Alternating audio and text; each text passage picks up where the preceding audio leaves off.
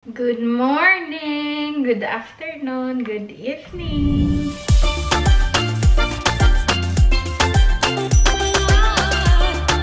Today is Thursday at it's already 10.10 in the morning. Kakatapos ko lang maligo, binasa ko na yung ulo ko dahil malikabok na siya. Tapos na din ako mag-edit at mag-upload and then magluluto ako ng aking breakfast which is bruschetta. Since marami pa akong kamatis dito, ubusin ko tong cherry tomatoes dahil luma na to. Matagal na to sa amin. Huhugasan ko lang muna to. Nahugasan naman to before ilagay sa ref pero hugasan ko pa rin.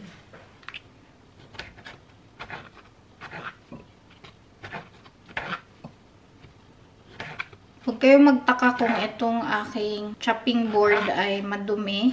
Ginamit ko to kaninang umaga nung nag-prepare ako ng baon ni Nico para sa work niya. Kaya medyo madumi na siya. Hinugasan ko lang siya pero hindi ko na sinabon ba. Mabilis ang kain na lang to siya since wala akong kanin. Inubos ko kasi yung kanin ko kahapon. Chicharon yung ulam ko. Naubos ko yung isang pack ng chicharon kahapon. Hugasan ko muna to dahil nakakaiyak to pag hindi hinugasan.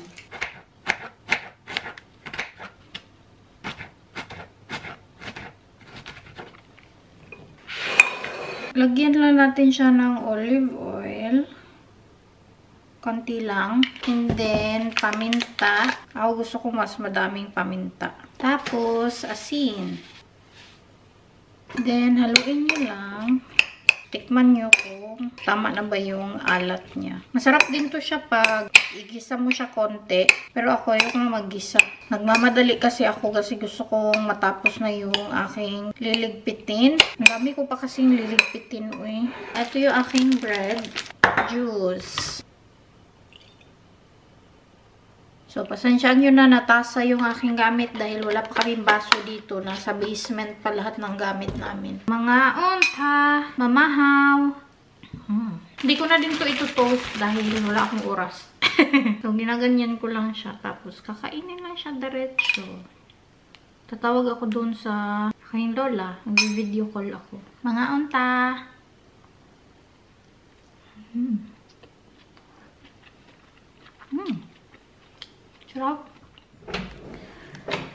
Medyo tapos na ako sa pag-arrange. Pero kulang pa to ng mga gamit sa bathroom namin dahil yung mga gamit namin dati sa bathroom nandun pa sa basement. Pero ito lang yung nagawa ko. Tada! Ito na lang yung ginamit kong organizer para dito. Tapos, ito naman sa baba. Magulo siyang tingnan pero okay na yan. Then, ito naman yung kalat dito. Medyo konti na lang siya. Magsisimula na ako sa aming kwarto. Ito ang before. O, oh, ba? Sobrang kalat.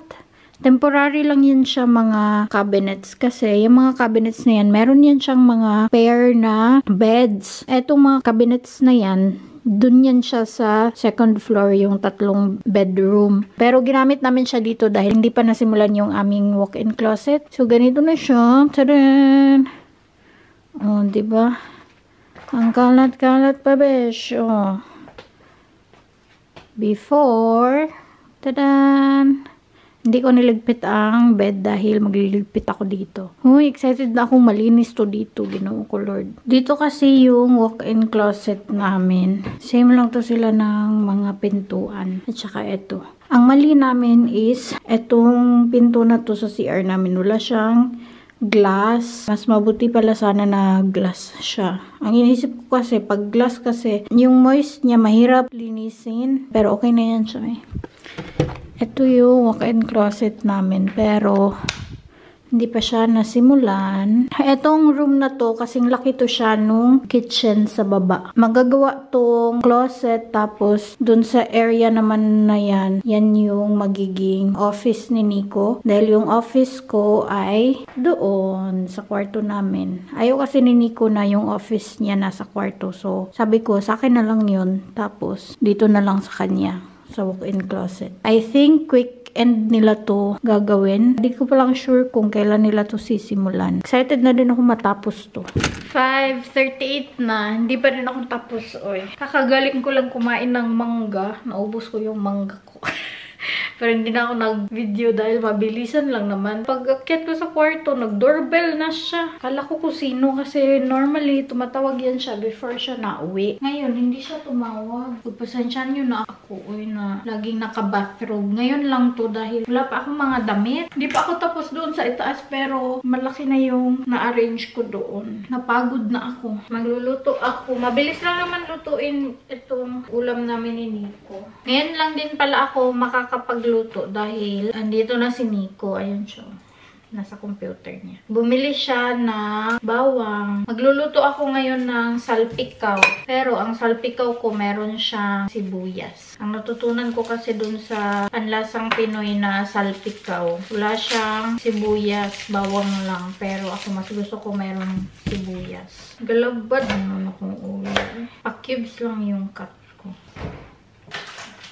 Ito yung karne. Ugasan ko lang to siya.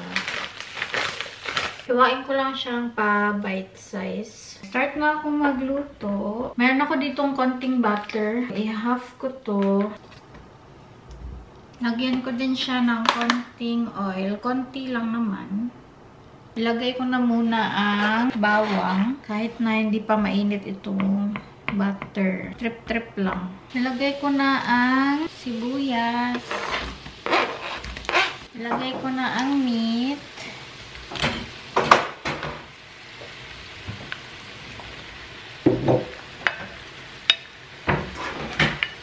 Ibang iba talaga siya sa pagluluto ng salpikaw pero okay na yan. So habang pinapainit ko to, lilinisin ko ang aming sink area. Dahil meron akong mga nagamit kanina na hindi ko hinugasan dahil naglinis ako kaagad. Lagyan ko lang siya ng asin at saka paminta.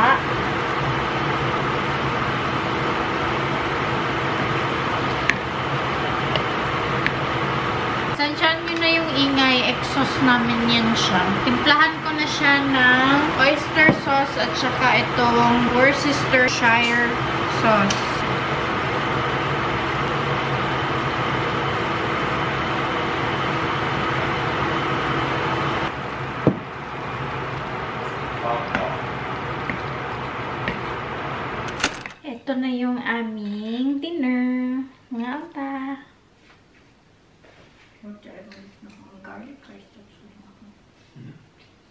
Zeit.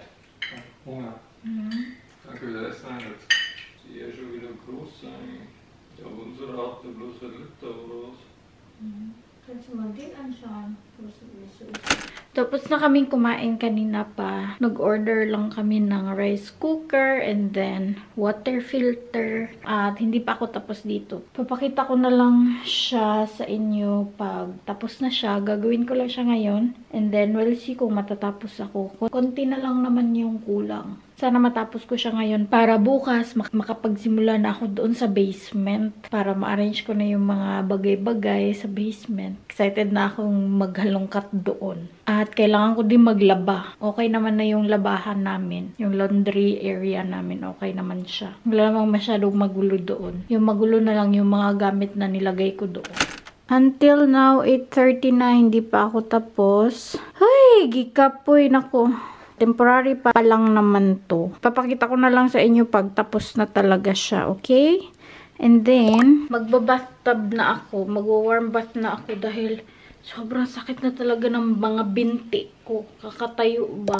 So, ayan ko na tong vlog. Thank you so much guys for watching. I hope you enjoyed this video. Please like and share if you did. Leave a comment below. Follow me on my social media. And please don't forget to subscribe to my channel and click the notification bell para ma-notify kayo every time na mag-upload ako ng bagong video.